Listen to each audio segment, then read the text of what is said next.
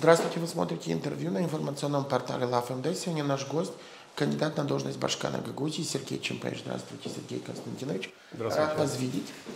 А, мы с вами говорили неоднократно и во время избирательной кампании, но сейчас уже избирательная кампания практически а, завершается, потому что 30-го уже будет день голосования, и жители Гагаузии смогут выйти на участки и сделать свой выбор – и, наверное, можно говорить об самой избирательной кампании, о том, а, как она шла, потому что ну, для вас она началась позже всех из кандидатов, в силу, да, мы знаем причин того, что а, были определенные препятствия со стороны Центральной избирательной комиссии под, под вашей регистрацией. Но и та политическая ситуация, которая складывается в стране, в том числе и э, ситуация, связанная с выборами в Гагаузии, отношением политических партий центральных властей. Думаю, может быть, многим будет интересно ваше мнение по этому поводу. Потому что о вашей программе мы говорили, но если как бы как-то еще будем пересекаться в разговоре, то пожалуйста. Сергей Константинович, если мы говорим о, о предвыборной кампании, потому что вы имели встречи, а, сегодня публикуется очень много опросов разных. Суть э, даже не в том, кто лидирует из кандидатов в этих вопросах, о тех проблемах и приоритетах, которые выявляют эти опросы. И первый, конечно, это связано с уровнем зарплаты. Из политических э, ну, предпочтений э, вопрос все-таки, что боязнь какого-то военного конфликта, он, э, эти приоритеты являются основными среди людей, которых опрашивают те или иные компании. Что общего и что главного обозначают люди на ваших встречах?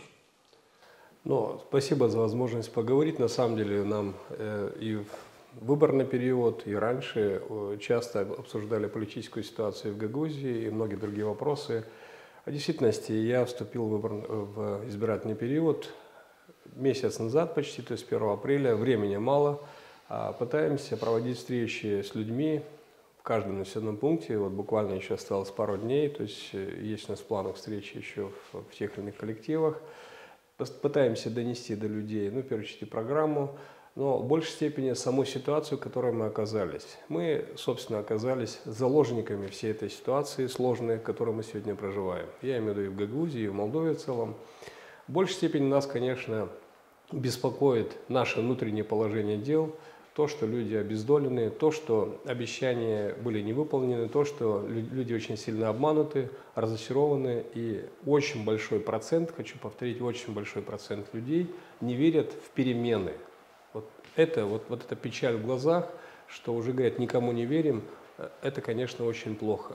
Э, мне кажется, что вот этот процент может сильно повлиять на то, что выборы могут даже не состояться из-за низкой явки.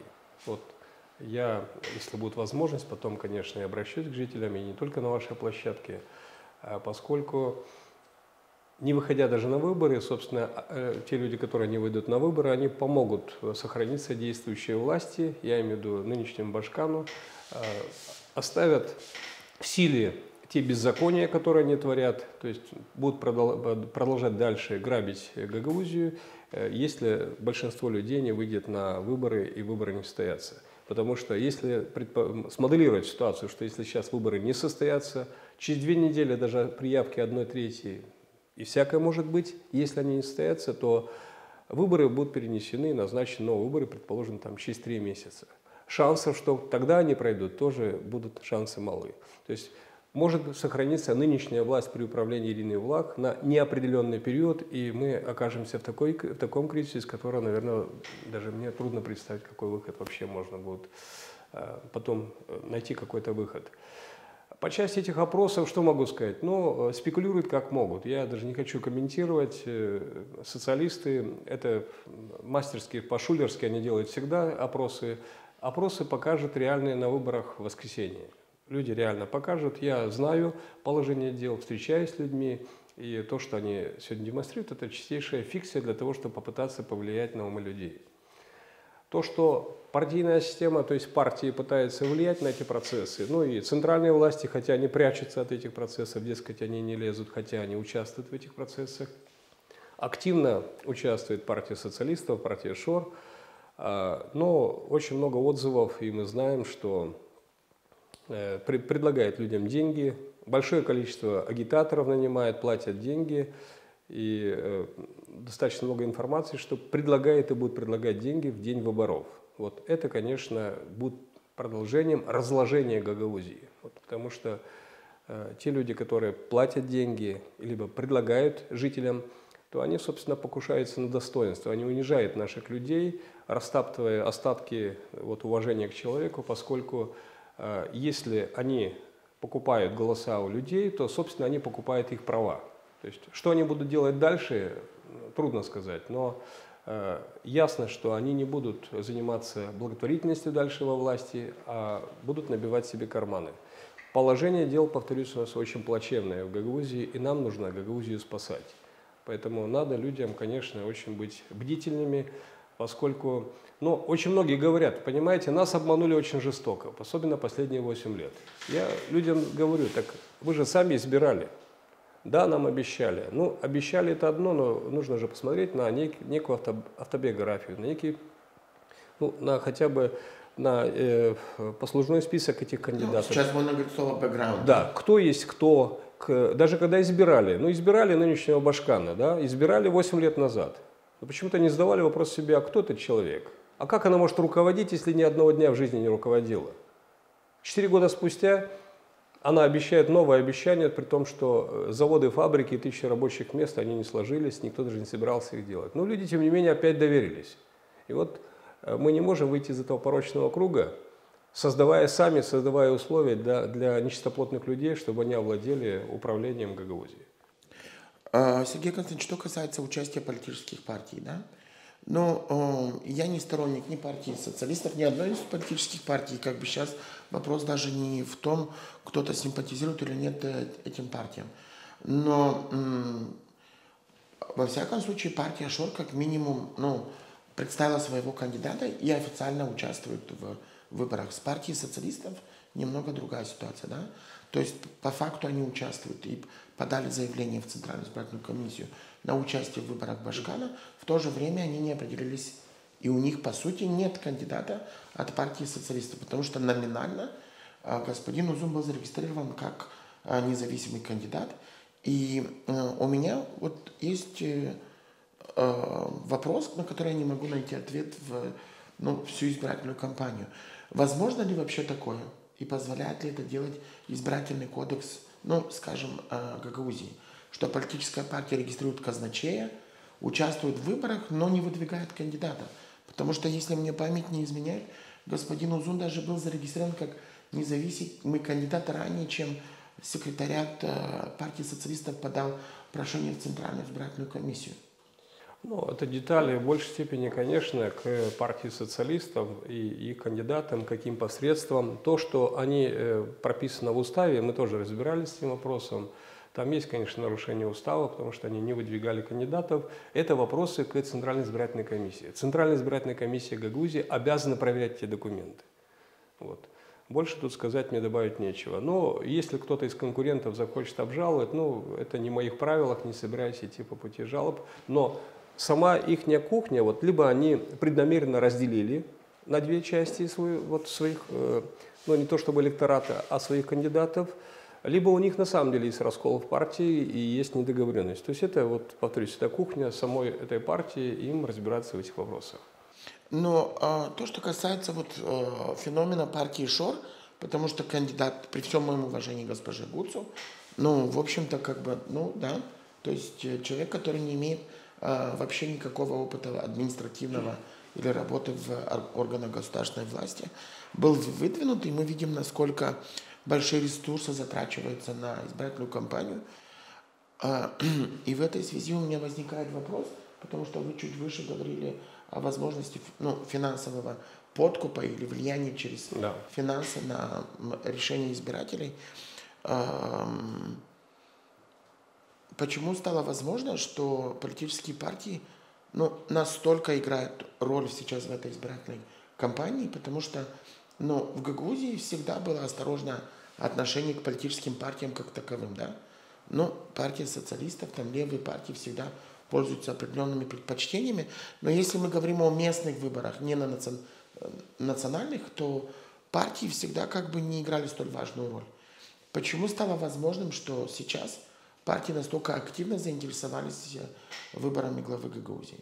Я не знаю, какова стратегия партии ШОР в Гагаузии и выдвигая своего представителя, которого народ не видел вообще, глаза, да, то есть человек, который выдвигается башканом Гагаузии, не ходит на встречи, не ходит на дебаты, никто этого человека не видит.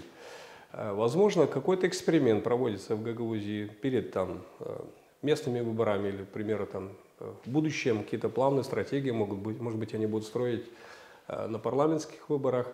Как люди отреагируют? То, что Гагаузия стала очень бедной последние годы и вынуждает некоторых людей, и, возможно, немалое количество людей, просто брать деньги, потому что они оказались в такой ситуации, это факт. То, что это разлагает Гагаузию, тоже факт.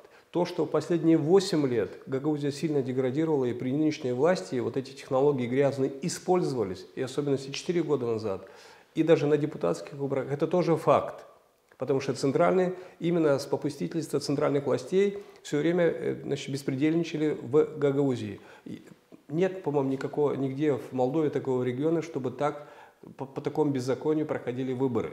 И сегодня мне тоже вот непонятно, что власть, которая в своей стратегии в основу ставила борьбу с коррупцией, да, наведение порядка, отдавала приоритеты, приоритеты справедливости, тоже смотрит на все эти вещи, вещи сквозь пальцы. Поэтому э, трудно сказать, чем это закончится, эта история, но нам, жителям, нужно понимать и помнить об одном, что у нас есть ответственность перед нашими предками – перед нашими предками, ответственность за нашу землю. Те люди, которые жили во время румынской оккупации, жили во время войн, во время голода, выжили в этих условиях. Сейчас распадается Гагаузия, молодежь уезжает, а те, та же молодежь, которая уезжает и живет в других странах, они абсолютно, может быть, многие из них безразлично относятся к Гагаузии, вместо того, чтобы просто звонить своим родителям, говорить о том, что нужно все-таки э, каким-то образом влиять на эти процессы, потому что мы пропадем как народ, как нация. Вот этот эксперимент, как над подопытными кроликами, проводится сейчас вот э, именно посредством э, подкупа, потому что формируется огромное количество тысяч, тысячами людей в качестве агитаторов, которым выплачивают серьезные зарплаты, то есть ну, а, не зарплаты, а выплачивают серьезные, серьезные деньги, да. И эта ситуация для нас, э, я вообще-то смотрю как, э, как некую трагедию для нашего народа, потому что э, если, не дай бог, такой эксперимент для них пройдет удачно, то с нами можно будет делать все, что угодно. Вот ломать, крутить все, что угодно. Можно избрать любого человека башканом, а впоследствии внедрить и э, совершенно чужих людей внедрить в народное собрание, потом делать с автономией что угодно. А, Сергей Константинович, роль центральных органов власти вот в этих процессах – потому что, не буду называть имя там э, политика, э, недавно я попал на его интервью, он задавался там вопросом касательно финансирования партии ШОР, в том числе вот э, протестов, и вполне закономерным, на мой взгляд, вопросом, что неужели служба информации и безопасности не знает канала, откуда в страну, допустим, поставляются деньги для организации протестов партии ШОР, в том числе деньги, которые уходят на Э, избирательную кампанию в Гагаузии, потому что ну, мы прекрасно понимаем, что если за неделю партия ШУР декларирует там от 800 до 1 миллиона затрат в Центральную избирательную комиссию, то по факту эти расходы как минимум в 5 или, возможно, что даже в 10 раз больше, чем они задекларировали в э, Центральную избирательную комиссию. А почему сегодня центральная власть, по сути, бездействует в этих процессах? Ну, мне трудно сказать, ответить за них, но, как я повторюсь, на все эти процессы, на все эти вещи не смотрят сквозь пальцы, вместо того, чтобы влиять на эти процессы. Да, у них достаточно инструментов для контроля, э, отслеживания поступления денег, реализации и использования, собственно говоря. Но мы посмотрим, э, будут ли они участвовать в этих процессах. Э, я ведь не против, чтобы все конкуренты участвовали, но все должны иметь равное конкурентное право да, ради справедливости. Я одному из э, коллег, э, конкурентов, задал этот вопрос за использование административного ресурса, это нарушается принцип справедливости по отношению к другим конкурентам. В этих условиях, вот я иду, да, у меня с человеком эм, вдвоем идем к людям, с чем? Мы идем со словом, идем с правдой, пытаемся убедить людей. То есть у нас нет возможности, даже нет намерений нету даже намеков, даже если были бы возможности, я никогда бы денег не предлагал бы, потому что э, я понимаю, что это такое предложить деньги людям. Это покушаться на его достоинство, на его честь, на его совесть, и я не могу никогда через это переступить. Так вот, мы идем, э, никому ничего не предлагаем. Во многих местах э, владеем информацией, что даже для того, чтобы созвать людей, вот собрать людей, э, платят деньги для того, чтобы привести людей на встречи. Кроме того кандидата, что административный ресурс используются бюджетники, свозят с детсадов, со школ и так далее, всех, извините, как отару овец свозят для того, чтобы просто послушать одного кандидата, создать некую массовку, картинку, показать, что посмотрите, люди толпами приходят слушать этого кандидата. То есть создать некую иллюзию э, и на спекулятивной форме преподнести это народу. Нету этой свободы. Мы Просто встречаемся, никого э, насильно э, не, пригла... то есть, э, не заставляем что-либо делать. Просто даем свои приглашения, инициируем через агитаторов. Как у нас получается, встречаемся с людьми, чтобы донести правду. Вот и у вас СМИ, и используем все возможности. Насколько это будет воспринято людьми, покажут выборы. Но другого у нас инструмента нет. И вот именно таким образом должны были работать все, все абсолютно кандидаты. Понимаете? Даже если у тебя есть возможность заплатить 4 миллиона лей, то должно быть основание, почему ты вкладываешь эти деньги. Ведь даже если взять, ну, к примеру, 20 тысяч лей зарплата Башкана, за год это составит 240 тысяч лей. Четыре года нетрудно посчитать, это не больше, ну пусть будет миллион лей. Миллион лей Башкан будет получать за 4 года в виде заработной платы. То почему надо вкладывать 4 миллиона на старте, чтобы получить миллион? Ясное дело, чтобы если вкладывает человек 4 миллиона или 5 или 10 миллионов, он захочет потом вырвать 40, 50, 100 или даже, может быть, больше миллионов. Вот мы не, выли, мы, мы не выберемся из этой кабалы, если не разрушим эту порочную систему. А, Сергей Константинович, вы чуть выше сказали, что есть вероятность того, что возможно, что многие люди не выйдут на избирательные участки 30-го. Вот то по-прежнему есть угроза того, даже после ну, сокращения списков значительно, Э, того, что выборы могут не состояться. Ну, я уточняю, не говорю, что многие, но немало людей, то есть немало людей, которые, собственно, очень э, с недоверием относятся. Люди обижены на власть, люди брошены. Понимаете, вот э, люди видят, видят все эти безобразия, да, миллионами расходуются на праздники. Люди видят, как наша власть на протяжении живет в параллельном мире. Человеку на операцию денег не, негде взять, понимаете, таких-то людей у нас масса – а тут публично расходуются миллионы, не спросив у народа, почему они это делают. Вот именно эта несправедливость, именно чванство властей, неуважение к людям привело этих людей к такому состоянию. Они, собственно, не виноваты. Но как донести до всех? Нет возможности физически со всеми встретиться и поговорить, как мы сейчас с вами говорим. Через телевидение не все получается. Вот живые контакты, встречаясь с людьми, удается многое донести до людей – удается убедить людей. Но очень жаль, что я говорю, вот такой контингент, мне трудно сказать, может процентов 20, может 30 процентов. Это огромная масса людей, наших людей, которые не хотят даже сегодня идти на выборы. И риск в любом случае срыва выборов есть. И думается, что нынешний Башкан тоже не заинтересован, чтобы выборы состоялись. Она все равно же создала неблагоприятные условия для этих выборов. Мы же все равно пытались и сделали, и внесли изменения в уложение для того, чтобы создать, понимая, что людей мало, чтобы было одна треть всех людей. Вы знаете, что очень много даже пожилых людей уехали, на зиму уехали к своим детям. Очень много пустых домов. Ситуация просто катастрофическая. Я очень хорошо как бы знал проблем много.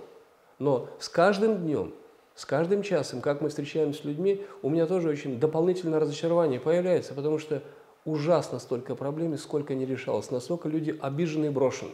Поэтому э, как-то нужно спасать Гагаузию без э, единства людей, без э, инициативы, э, без того, чтобы выйти на выборы, ситуацию не изменить. Поэтому я, э, пользуясь случаем, хочу попросить вас, уважаемые жители, кто думает или кто э, считает, что нет, ничего не изменится, так дайте шанс надежде. Выйдите, пожалуйста, на выборы, потому что своими действиями, вы даже того не понимая, сохраните эту воровскую власть. Поэтому прошу вас изменить свое отношение, выйдите на выборы. Если вам не нравится кто-то из кандидатов, можете голосовать против всех. Я же вас прошу, чтобы вы проголосовали за Сергея Чемпаеш. Я обещаю, что мы с вами вместе максимально на справедливой основе будем менять Гагаузию, потому что по-другому эту систему э, антинародную не поменять. Мы вместе с вами будем строить народную власть. Эм, вот явки избирателей и потом э, поствыборной ситуации.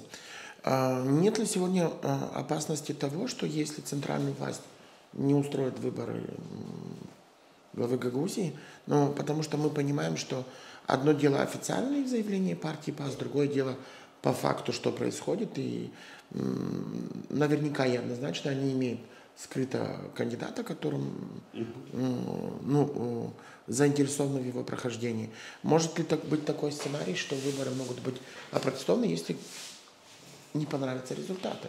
Или не устроят? Ну, всякое может быть. Я все-таки склонен считать, что э, если кто выиграет выборы, даже не кандидат от партии ПАС, э, ну, куда они денутся, должно быть основание, да, но если не будет явного подкупа так далее, там, доказательств, фактов, то нет никаких оснований эти выборы отменять. Ну, по части, э, понимаю, что из-за политкорректности мы не говорим, не называем имен, но сегодня-то можно сказать о том, что скрытый кандидат от партии ПАС – это Дмитрий Кройтер. Он же является чрезвычайным послом Республики Молдова в Турции. Назначила послом Турции господина Кройтера Майя Санду. Без ее согласия он не может покинуть территорию Турции. Даже на похороны к родным он не может приехать. Это очевидно, что только согласие Майя Санду он приехал на, на выборы. Действующий посол он сегодня участвует. Ну, почему он об этом не говорит? Будет сегодня дебат, я об этом спрошу. А, Сергей Константинович, если мы говорим о списках избирателей, да, потому что это, это проблема, потому что она предпоследних выборов в списках было 109 а, тысяч, э, сейчас 100, чуть более 102 тысяч, 92 тысяч избирателей. А, те списки, которые были уточнены при Мареме и поданы в Центральную избирательную комиссию. И куда-то странным образом пропало там ну, 16-17 тысяч избирателей. Мы понимаем, в чем проблема да, в списках. Э, и понимаем в том, что снижение порога явки сняло бы все вот эти вопросы, потому что независимо от того, сколько было бы там в списках 109 или 92, все-таки порог явки в одну треть, он бы менял как бы ситуацию, связанную с тем, чтобы выборы были легитимны и результаты в том числе. Сегодня же есть очень много вопросов к тому, куда за 4 года пропали там, да, 16 тысяч избирателей, они выехали из Гагаузии, или эти люди просто умерли, скажем так, в кавычках, от хорошей жизни. И у меня вот к вам вопрос, как к кандидату и участнику избирательной кампании. Задают ли эти вопросы жители Гагаузии? Вот, да, вот куда мы просто дели, грубо говоря, 16 тысяч человек из списка? Ну, наши люди уезжают отсюда массово. Я и на встречах говорю им о том, что главная наша беда – остановить отток наших людей, создать им условия. Для, для этого я предлагаю реальную программу, как остановить и создать условия для молодых людей.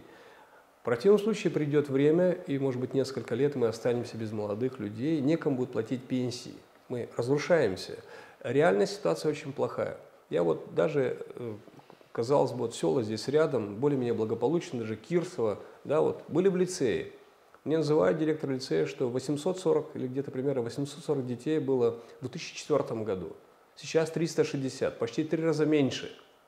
Рядом в гимназии там то же самое было, где-то 600 чем-то, осталось сегодня 240. Такая тенденция везде. Печально, вот, к примеру, в Киритлунге там родилось, по-моему, 5 детей за прошлый год. Подобная ситуация в Бешалме. У нас ситуация катастрофическая. Мы должны бить в набат все, что нужно Гагаузию спасать, разобраться во всем. Поэтому, если мы это не остановим, то разрушение, вот разложение, о чем мы говорим сегодня, подкуп и все остальное, разложение Гагаузии продолжится очень быстрыми темпами. И то, что вы сказали, тысячи людей, это исключительная вина властей Гагаузии, которые взяли обязательство создать 5000 рабочих мест – Создать десятки предприятий не создали, обманули людей. Потому что если бы они работали в интересах народа, у нас не убавилось бы количество людей, напротив, прибавилось бы. А, что касается того, что вы говорите, да, потому что здесь мало, а, ну, скажем так, желаний или видения кандидатов на должность Башкана Гагаузии, да, а состояние дела о том, как это все а, возможно ли поменять еще или нет – есть ли осознание у жителей автономии к тому, что от их голоса может зависеть да, будущее автономии и в том числе и решение вот этих всех проблем. Потому что, ну, почему я задаю вам этот вопрос? Потому что вы ежедневно встречаетесь с жителями автономии. Мы, к сожалению, не имеем такой возможности, чтобы общаться с таким большим количеством людей. И складывается впечатление, что общество ну, не совсем готово. То есть готов, люди слушают, поддерживают тех или иных кандидатов, а будут голосовать, к сожалению, по каким-то другим принципам. Но во всяком случае у меня складывается такое впечатление. А, нет, есть много людей, ну, понимаете, вот сколько людей у нас приходят на встречи, и, к сожалению, конечно, хотелось бы, чтобы их было больше, но люди очень пассивны из-за того, что не верят, не доверяют и отбрасывают это все на второй, на третий план. Но при встречах многих нас, ну, удается убедить в том, что мы, мы сможем вместе, и у них искорка появляется. Я могу сказать, потому что поскольку вот с глазу на глаз с людьми встречаемся, я предлагаю реальные проекты, как вместе все это можно изменить. Но э, жалко, что нет возможности с большим таким количеством, чтобы на аудиторию приходили по 500 человек, по 1000 человек, чтобы можно было в общении с людьми объясниться, да, объяснить причину, э, чтобы люди лучше понимали. Поэтому вот хотя бы через такие площадки, через СМИ попытаемся это сделать, убедить людей, потому что все равно же э, наша жизнь в наших руках. Как бы мы ни говорили, мы не можем сегодня сказать, вот даже вот в свободном общении, вот есть люди по отдельности говорят, мы ни в кого не верим, ситуацию не изменить, и что бы ни говорили, ничего не изменится к лучшему. Вот есть такие непрошибаемые люди, да, но я говорю в ответ, тогда что нам остается делать? Поднять руки и ждать, когда мы умрем, что ли, все? То есть нужно пытаться что-то делать, нужно пытаться спасать Гагаузию, разобраться в причинах. Изберут меня башканом Гагаузии, я говорю в обязательном порядке, проведем ревизию по основным проектам, по сомнительным проектам, ибо э, во имя восстановления справедливости это нужно сделать. Если мы этого не сделаем, если мы не наведем порядок, то дальше, конечно, у нас будущего не будет. А, Сергей Константинович, если мы посмотрим о тех проблемах, которые есть в Гагаузии, были они, да, как бы немного отходя от избирательного процесса, избирательной кампании, хотя мне кажется, как бы сейчас все связано с избирательной кампанией. Э, на прошлой неделе э, появилась информация о закрытии суда в э, городе Чедерлунга, да. После этого мы видели, было внеочередное заседание муниципального совета в Чедерлунге, потом последовало заявление руководства Народного собрания Потому что, ну, во всяком случае, не видел, что проходило заседание законодательного органа. А, и понятно, что это проблема не одного дня, потому что реформа судов началась несколько лет назад. И здесь возникает очень много вопросов. Если знали о реформе, потому что суды уже начали реформировать, в том числе, когда реорганизовали офисы в Чадрлунге, Вулканеште и в Гагаузии только был создан офис Камрад с филиалами в Чадрлунге, Вулканештах. Почему тогда власти Гагаузии молчали о том, что через какое-то несколько лет будет закрыт офис в Чадурнуге, а вполне возможно вторым этапом эшелоном пойдет и суд э, офис в Вулканештах. То есть 2-3 года власти молчали, зная о том, что такая проблема есть, потому что реформа начала внедряться. Сегодня, когда уже по сути решение принято, мы видим там, ну, попутку руководства Народного собрания в очередной раз сделать какое-то заявление без реальных рычагов того, как решить эту проблему. Почему так происходит? Где были власти Гагаузии 2-3 года назад, когда начиналась эта реформа? Все начинается с главного, да, вот все с головы. Глав, главное лицо у нас Башкан Гагаузии, член правительства. И все эти реформы, которые начинают вот на стадии, на начальной стадии подготовки, они же не просто так вот решаются, да, должны рассматриваться, решаться, обсуждаться там. То есть должна быть активность, участие в вопросах защиты наших интересов. По части реформы, но где-то мы слышали о реформе, но я не, не видел и не знал о том, что э, возможно ликвидировать там суд Чадрунги и так далее. Кстати, в тот день, когда проходило заседание муниципального совета, мы были на встрече в Чадрунге, и коллега Николай Иванчук сказал об этом. Мы пришли на это э, заседание. заседание, да. Я выступил перед советниками и сказал о том, что э, просьба в вашем решении направьте в Народное собрание для того, чтобы мы созвались на специальную сессию, чрезвычайную, для того, чтобы мы ее обсудили. Но опять же, все покрыто мраком. Мы не знаем, что было доведено до Башкана Гагаузии, до председателя Народного собрания, которые скрывали этот факт, вероятнее всего, и мы оказались перед фактом. Уже не первый раз. Как, собственно, было и с налоговой службой. И очень жаль, что вот наши руководители так вот без зуба подходят и так бездарно вот ранжирят наши полномочия. Отвоевывать их гораздо сложнее. Нужно их отстаивать на стадии, на начальной стадии. Тогда, когда вопрос начинает прорабатываться, тогда нужно включаться, включать все рычаги для того, чтобы не дать возможности э, что, принимать какие-то решения ущерб Гагаузии. Это вина, исключительная вина наших властей. А если мы э, говорим о э, политических э, полномочиях и в том числе взаимоотношениях с Кишиневым, э, вам видится, что, ну, давайте будем говорить независимо от результатов э, выборов главы Гагаузии, что этот диалог может стать позитивным, потому что до сих пор, ну, давайте признаем, что эффекта мало от всех переговоров. А, полномочия Гагаузии из года в год убирались, и мы понимаем, к чему мы дошли, в том числе и там не только по налоговой, судам и так далее, так далее. Список длинный. Есть ли сегодня к предпосылки к тому, что в условиях, когда ведь э, ситуация такова, что жители Гагаузии, ну, традиционно имеют левые э, взгляды на политическую ситуацию и пророссийски настроены, тогда как власть в Кишиневе сегодня имеет другую политическую повестку. И в этой связи, да, как бы, ну, мы видим, что все-таки это противоположные видения, и здесь, соответственно, наверное, сложнее находить диалог по каким-то э, принципиальным вопросам, в том числе и касательно разделения полномочий между центром и э, гагаузской автономии.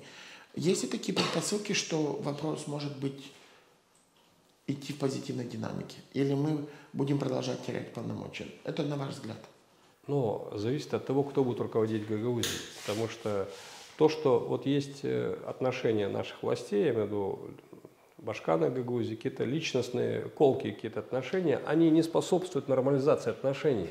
Вот как мы в рамках межпарламентской группы обсуждаем, исходя из фактов, отстаиваем, именно подобным образом нужно будет решать вопросы. Э, да, в вопросах геополитики у нас идут, как говорится, разночтения. Да? Гагаузия придерживается стратегического партнерства с Российской Федерацией. Власти Молдовы сегодня настроены совершенно в ну, противоположном направлении. И понятное дело, что проблема – это война на Украине. Мы не поддерживаем войну на Украине. То, что два братских народа воюют, это трагедия для этих обеих народов. И дай Бог, чтобы в этом году эта война закончилась и начали наложить нормальные взаимоотношения. Что касается автономии, то мы часть страны. Мы автономия в составе, в составе Молдовы, и мы не можем себя рассматривать иначе. Центр, кто сегодня во власти? Партия ПАС. Вчера были социалисты, завтра будут, может быть, другие. В любом случае мы должны в рамках одной страны, с учетом того, что автономия часть этой страны, налаживать нормальные отношения с центральными властями в интересах народа. То есть это вопросы и финансовой, и экономики, и культуры, и политики, и всего-всего. Ну, по части разночтения, вот как я сказал, если у нас есть противоречивые взгляды по геополитике, то ничего страшного здесь я не вижу. Это позиция нашего народа. Наш народ так решил. Мы так хотим, и э, это наша воля. Поэтому нам никто не может навязывать чужую или там чуждую волю.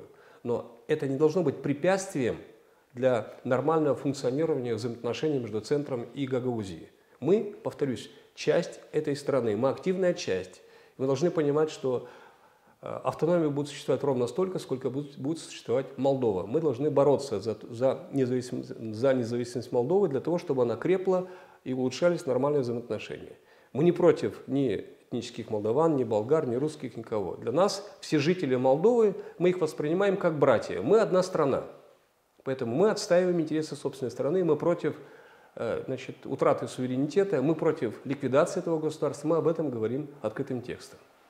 А, вот завершая наше интервью, а, потому что осталось, э, ну, наша программа выйдет, наверное, за несколько дней до выборов. А, если у вас есть что-либо сказать нашей аудитории, потому что среди них наверняка есть и в том числе и ваши избиратели. Да, я с удовольствием скажу еще пару слов, даже во время обсуждения э, высказался. Ну, в большей степени, конечно, я прошу вас, уважаемые жители Гагаузии, проявите активность, проявите, пожалуйста, даже при всех обидах, что бы то ни было, пожалуйста, выйдите на выборы. Я прошу поддержать Сергея Чемпаеша. повторюсь, я буду вместе с вами строить народную власть. Мы создадим поистине народную власть, исполнительный комитет, властные структуры, руководители, э, значит, начальники управления, их заместители будут избраны посредством конкурса среди народа. Остальных людей, хочу, чтобы просто было ясно, понятно всем, те люди в бюджетной сфере, которые работают, которые работают честно, никто их не собирается трогать, нам нужны специалисты, мы никого трогать не собираемся. Но наведем порядок, чтобы у нас не было тысячами мертвых душ, чтобы чиновники не, прикрывались. Будем наводить порядок. Во всем будем строить максимально справедливую, честную, прозрачную систему, где все чиновники, начиная от башка на Гагуз, заканчивая значит, в бюджетных сферах и в детсадах и так далее, будут отчитываться перед вами открыто, на открытой прозрачной основе. Поэтому я прошу вас, пожалуйста, выйдите на выборы и проголосуйте за Сергея Чемпаеша. Спасибо. Спасибо, Сергей Константинович. Напомню, что вы смотрели интервью с Сергеем Чемпаеш, кандидатом на должность Башкана Гагаузии на информационном портале ЛАФМД. Оставайтесь с нами, будете в курсе происходящих событий и призываю вас 30 апреля выйти на избирательные участки для того, чтобы выборы главы автономии состоялись и из бюджета не было израсходовано еще 3 миллиона лев на дополнительную избирательную кампанию. Неважно, за кого вы будете голосовать, главное – отдайте свой голос для того, чтобы э, выборы состоялись и публичные финансы были израсходованы с той целью, на которую их э, выделяло Народное собрание.